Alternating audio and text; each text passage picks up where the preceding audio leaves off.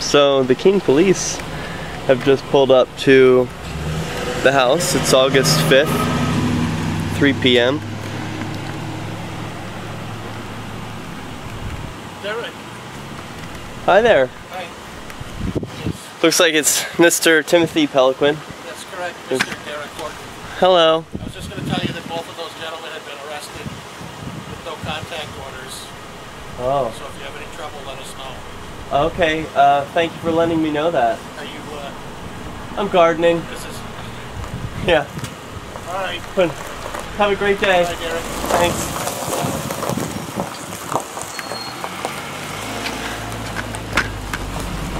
So that was interesting. Um, you know, I was just out here to take some some video of me gardening, and you know, my heart always gets racing when the police show up and pull up next to me.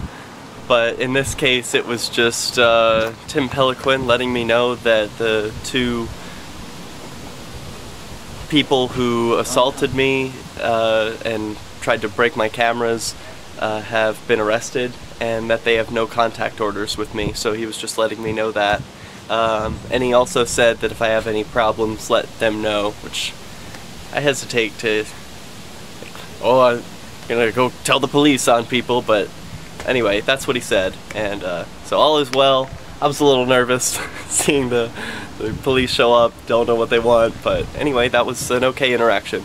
Tim Peloquin's usually pretty nice. I've never had any bad interaction with him so far. And uh, I'll continue gardening.